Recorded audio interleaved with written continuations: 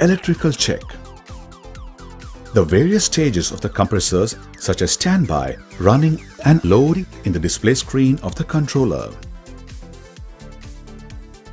Enter the password 0009 to enter into the operator menu.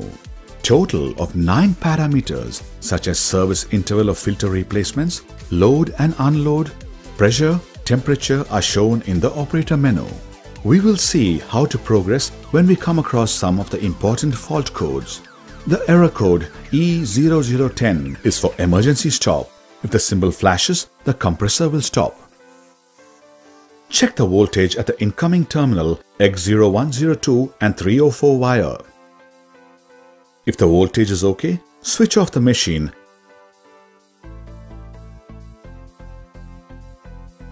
and check the continuity of the push button.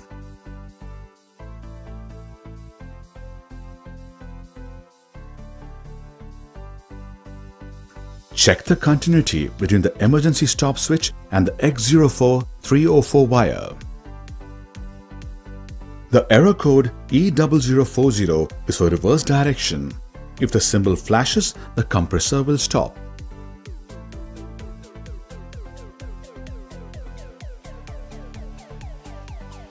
Check the voltage between the X0102 and the C4 connection. If the voltage is OK, then proceed to check the resistance of the reverse direction switch. In the operator menu, check the position of D4. It should be 2 ENO, normally open for RDS switch. Check the continuity between the add-on and fuse. The error code E0020 is for main motor overload relay. If the symbol flashes, the compressor will stop.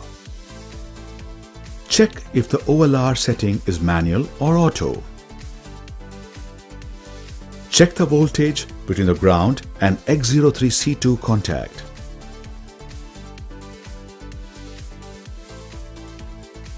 Check the voltage of the overload relay 0.1 and 0.2 with respect to ground. Check the continuity of the overload relay after resetting the main motor overload relay, check the phase current after OLR. The error code EO115 indicates the fault in pressure sensor. Check the voltage between ground and 702 contact point.